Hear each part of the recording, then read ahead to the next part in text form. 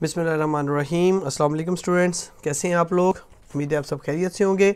आज हम एक इंपॉर्टेंट टॉपिक डिस्कस करेंगे and that is Geiger Muller counter और some time it is called G M counter अब Geiger Muller counter radiation detectors में एक बहुत इंपॉर्टेंट बहुत ज़बरदस्त नाम है, बहुत वाइडली यूज़ किया जाता है। इसका बेसिक प्रिंसिपल जो है, वो ionization power of incoming particles के ऊपर है। यानी जितना पार्टिकल ताकतवर होगा, जितनी ज़्यादा आयोनाइजेशन करेगा, उतने ही ज़्यादा बेहतर तौर पे जीएम काउंटर उसको डिटेक्ट कर सकेगा। अगर आप इसके कंस्ट्रक्शन वाइज इसके ऊपर आ जाएँ तो जीएम काउंटर बुनियादी तौर पे दो पार्ट पर मुश्तमिल होता है, जिस तरह यहाँ आप डायग्राम में देख सकते हैं।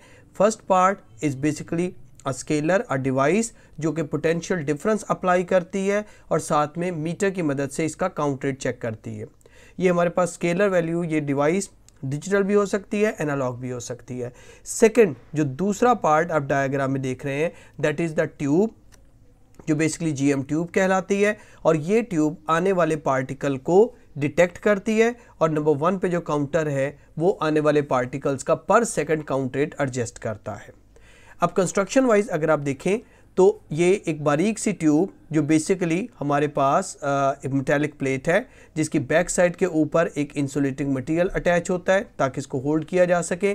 इसके बिल्कुल सेंटर में एक छोटी सी थिन रॉड लगी होती है।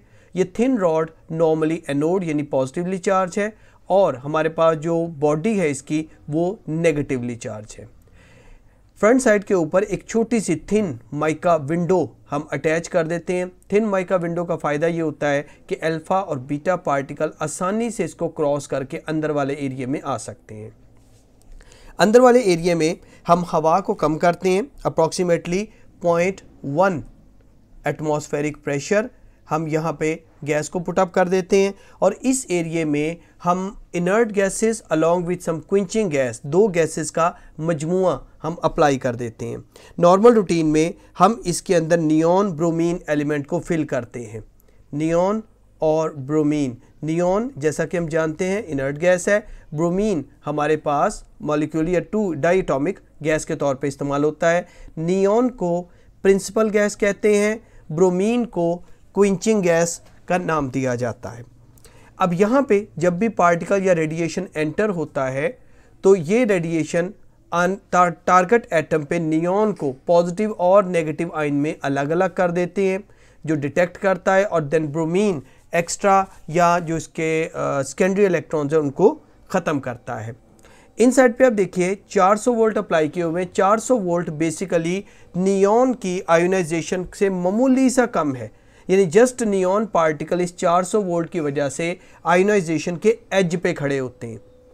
तो जब पार्टिकल एंटर होता है तो पार्टिकल एनर्जी प्लस ये 400 वोल्ट की एनर्जी मिलकर पार्टिकल को आयोनाइज कर देती है। लेट्स चेक आउट कि हमारे पास गाइगर मुलर काउंटर बुनियादी तौर पे वर्क किस तरह से करता है। तो अगर हम इसके ऑपरेशन के ऊपर आ जाएँ तो लेट्स सपोज़ कि हमारे पास यहाँ पे जिस तरह ये आपको डॉट्स नज़र आ रहे हैं, ये तमाम डॉट हम लेट्स सपोज़ हम रिप्रेजेंट करते हैं नियॉन और ब्रोमीन को। हेयर आउटसाइड जो आपकी बॉडी है इस जी एम काउंटर ट्यूब की that is negatively charge and inside this one is positively charge suppose कीजिए, यहाँ से हमारे पास एक अल्फ़ा पार्टिकल एंटर हुआ, चूँकि अल्फ़ा पार्टिकल साइज़ में, वज़न में इंट्रैक्शन में ताकतवर होता है। तो हम कंसिडर करते हैं कि सपोज़ कीजिए ये किसी नियॉन पार्टिकल से टकराया तो इसको आयोनाइज करेगा और ये आपके पास नियॉन पॉजिटिव आइन और इसमें से एक इलेक्ट्रॉन को इजेक्ट कर देगा। चूँकि इलेक्ट्रॉन साइज़ में, वज़न में कम होता है सो ये फास्टली इस पॉइंट के ऊपर आ जाएगा पॉजिटिव एनोड के ऊपर। जबकि नियॉन आउटसाइड बॉडी की तरफ़ जाते हुए थोड़ा सा टाइम लेगा। ये वो टाइम जो नॉर्मल रूटीन में नियॉन बॉडी तक पहुँचने में इस्तेमाल करता है, इस टाइम को dead time of the GM counter कहा जाता है। क्योंकि जब तक नियॉन यहाँ पे जाकर, अपनी साइड के ऊपर जाकर अटैच नहीं होता, एक इलेक्ट्रॉन को कैप्चर नहीं करता तब तक एक पल्स मुकम्मल नहीं होती? और नॉर्मल रूटीन में इस डेड टाइम को, जो कि स्टैंडर्ड टाइम कंसिडर किया जाता है it is ten power minus four second इस टाइम के दौरान दौरान हमारे पास अगर कोई भी दूसरा अल्फ़ा पार्टिकल सिस्टम में एंटर हो आयोनाइजेशन प्रोड्यूस करे तो काउंटर ट्यूब उसको डिटेक्ट नहीं कर सकती। नॉर्मल रूटीन में ये पूरे का पूरा पल्स जो है वो वन माइक्रो सेकेंड में कंप्लीट हो जाती है। ताहम सम टाइम हमारे पास काउंटर जो है, उसमें नियॉन नॉर्मल से ज़्यादा टाइम लेता है इस आउटसाइड एरिया तक पहुँचने के लिए और इसी वजह से इसका डेड टाइम माइक्रो सेकेंड की बजाय ten power minus four second consider किया जाता है। नाउ लेट्स सपोज़ जैसे ही नियॉन आयोनाइज होता है इलेक्ट्रॉन तेज़ी से एनोड की तरफ़ आएँगे और नियॉन के पॉजिटिव आइन आउटसाइड वॉल की तरफ़ जाएँगे। अब आउटसाइड वॉल पर जाकर ये एक इलेक्ट्रॉन को कैप्चर करेंगे और ऑटोमेटिक नियॉन दोबारा से एक नॉर्मल नियॉन एटम बन जाएगा। यहाँ पे एक पल्स जो है, वो क्रिएट होती है और वो पल्स आउटसाइड काउंटर स्केलर्स के ऊपर काउंट की जा सकती है। Now here come this second element neon के साथ जो हमने ब्रोमीन को अटैच किया था, उसका काम क्या है? रियल टाइम में जैसे ही नियॉन एटम यहाँ पे इस बाउंड्री पे पहुँचता है तो चूँकि आउटसाइड बाउंड्री नेगेटिवली चार्ज है तो यहाँ से बहुत सारे इलेक्ट्रॉन इस पॉजिटिव के अट्रैक्शन के चक्कर में यहाँ से जंप कर जाते हैं। अब जब वो जंप करते हैं, इनमें से एक इलेक्ट्रॉन सपोज़ नियॉन से अटैच हो गया what about these three electrons ये जंप करके बाउंड्री से बाहर आ गए। और ये जब बाहर आएँगे तो उस सूरत हाल में ये नेगेटिव प्लेट उनको वापस नहीं आने देगी। और ये नेगेटिव इलेक्ट्रॉन तेज़ी के साथ इस एनोड के ऊपर चले जाएँगे। जब ये एनोड पे जाएँगे तो एनोड कंसिडर करेगा कि एक की बजाय चार अल्फ़ा पार्टिकल्स हैं। दीज इलेक्ट्रॉन्स जो कि हमारे पास नियॉन की बजाय वैसे जंप करके इनको सेकेंडरी इलेक्ट्रॉन्स कहा जाता है। समटाइम ये नियॉन पार्टिकल ये नियॉन जो एटम है, ये रस्ते में मूव करता हुआ एलिमेंट के साथ टकरा सकता है।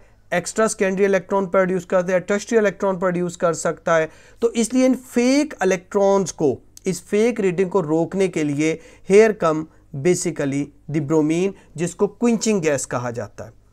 क्विंचिंग गैस से मुराद ये है कि इन इलेक्ट्रॉन्स को ये ब्रोमीन एटम अब्जॉर्ब करती है। ब्रोमीन मॉलिक्यूल दो हिस्सों में सप्लिट हो जाता है ब्रोमीन एंड ब्रोमीन और सर्टन टाइम के बाद उन इलेक्ट्रॉन्स को मिट करके वापस बी बन जाती है। क्योंकि इस काम में ये जो पूरा प्रोसीजर ब्रोमीन ने किया, इसमें सेकेंडरी इलेक्ट्रॉन को रोका जा रहा है, इसलिए इसको कहा जाता है क्विंचिंग गैस और इस पूरे प्रोसेस को क्विंचिंग प्रोसेस का नाम दिया जाता है। कमर्शियल जीएम काउंटर्स में दो तरह की क्विंचिंग होती हैं। एक सेल्फ क्विंचिंग और दूसरी इलेक्ट्रॉनिक क्विंचिंग सेल्फ क्विंचिंग ये है कि जो अभी हमने प्रोसीजर डिस्कस किया कि ब्रोमीन गैस आने वाले इलेक्ट्रॉन्स को कैच करेगी और उनको रास्ते में ब्लॉक कर देगी, उसको यहाँ पर नहीं पहुँचने देगी।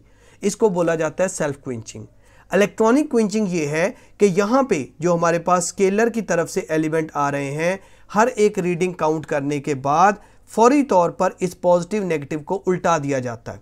Just you can say less than a microsecond हम नेगेटिव पॉजिटिव पल्स को उल्टाते हैं, जिससे यहाँ ये सेकेंडरी इलेक्ट्रॉन्स ऑटोमेटिकली ख़त्म हो जाते हैं.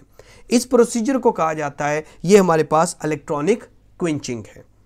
अब गौर कीजिए, जो हमने लास्ट डिस्कशन की कि हमारे पास जो विल्सन क्लाउड चैम्बर है, वो बल्कि है। विल्सन क्लाउड चैम्बर को हर दफ़ा रीसेट करना पड़ता है। विल्सन क्लाउड चैम्बर हमें काउंट रेट नहीं देता तो जीएम काउंटर ये तमाम चीज़ें कवर अप कर देता है। ये स्मॉल है, ये ज़्यादा चार सौ वोल्ट के ऊपर काम कर रहा होता है, इसको मसानी से हम डीसी बैटरी से इस्तेमाल कर सकते हैं।